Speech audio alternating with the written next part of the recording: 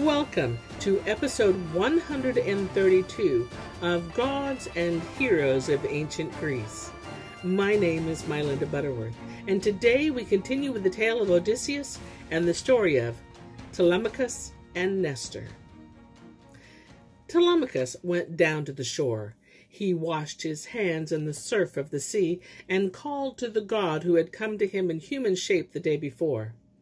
At his prayer, Pallas Athene approached him in the shape of Mentor, his father's friend, and said, If the spirit of your father, wise Odysseus, has not wholly forsaken you, stir up your soul to action and carry out your decision. I, your father's friend, will see to it that a swift ship is prepared for you, and I will accompany you myself. Telemachus, who thought he had heard the counsel of Mentor, hastened toward the palace, firmly resolved to set out on his journey. On the way, he met Antinous, who caught at his hand laughingly and said, Why so rebellious and gloomy? Come eat and drink with us as you did before. Let the citizens see to your ship and its crew. When everything is ready, sail to Pylos if you like. But Telemachus replied, No, Antinous, I can no longer sit at the same board with you. I am not a boy any more. From now on, whether I go or stay, you shall deal with a full grown man. But I will go, and nothing shall keep me. And as he spoke, he withdrew his hand and hurried to his father's storerooms, where gold and bronze were kept, where costly tunics filled the chests, and flasks of fragrant oil and big jars of old wine were set up around the walls. All these things were under the care of your Euryclea, an old serving woman. When he had entered and closed and bolted the doors behind him, he said to her, Quick, fill twelve two handled jars with the choicest wine and seal them well.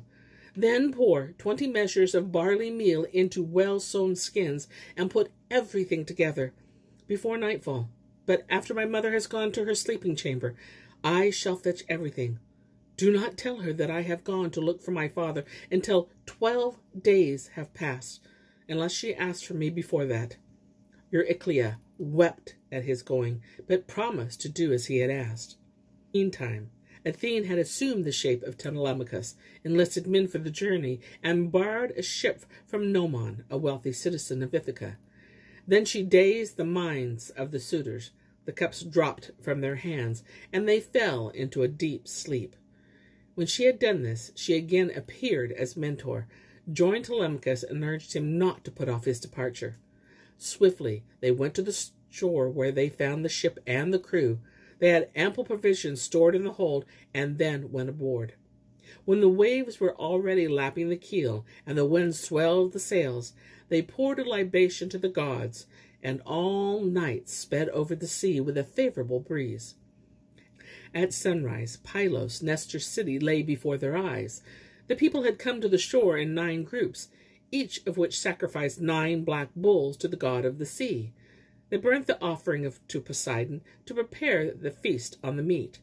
When the men from Ithaca landed, Athene, in the guise of Mentor, led Telemachus to the center of the ring where Nestor sat with his sons.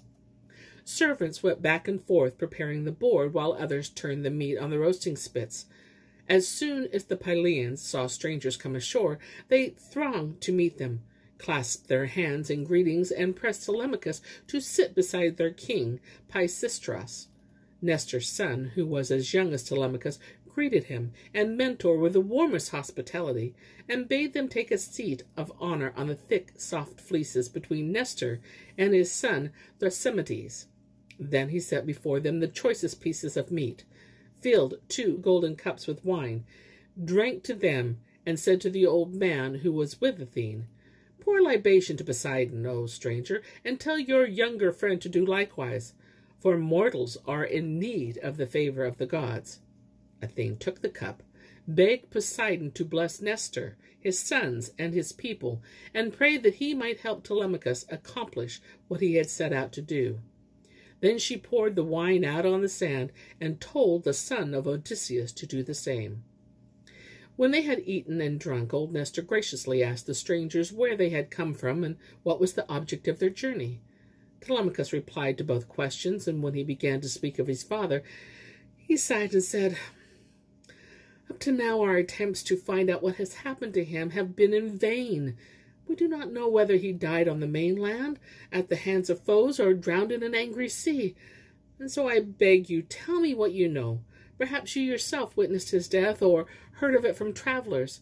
Do not spare us from a sense of pity, but tell us the truth.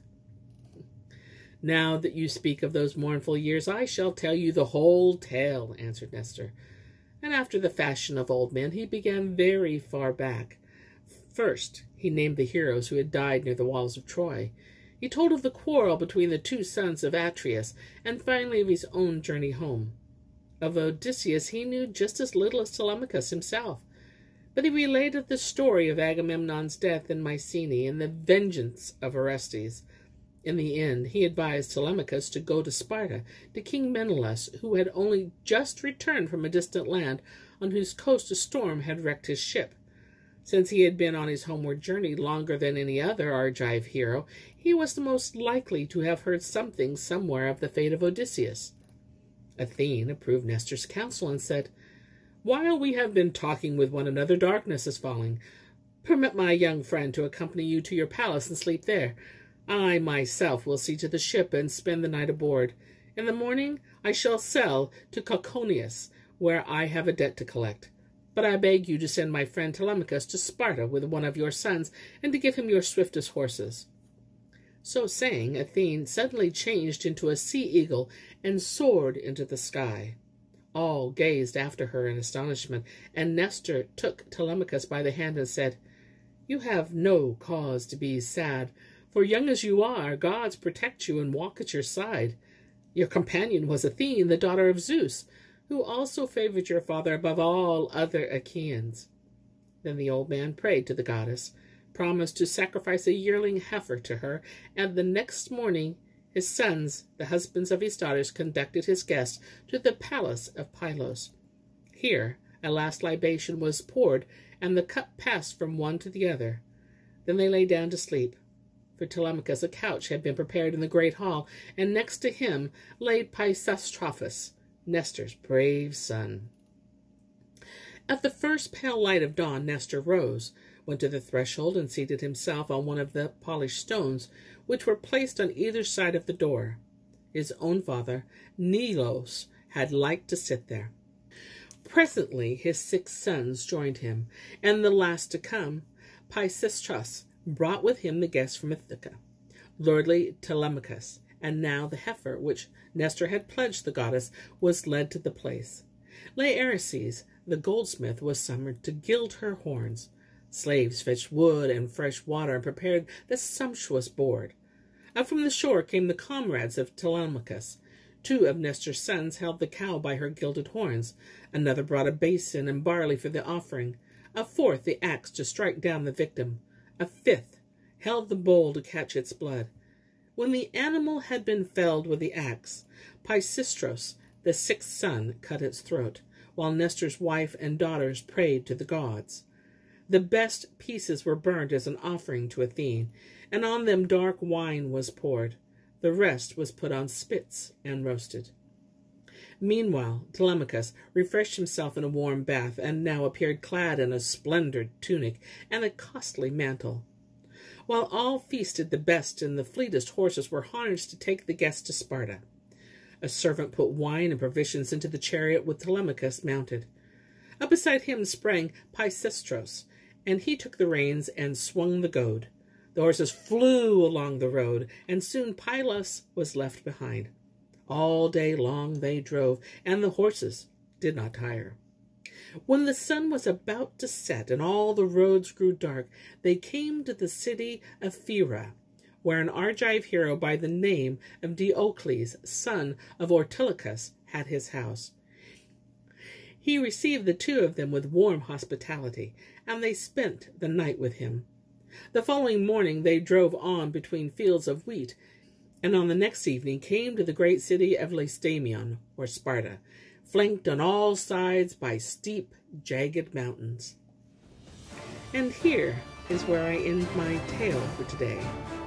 But I'll be back with more tales. Many more tales. Until then, my friends, Enjoy the journey.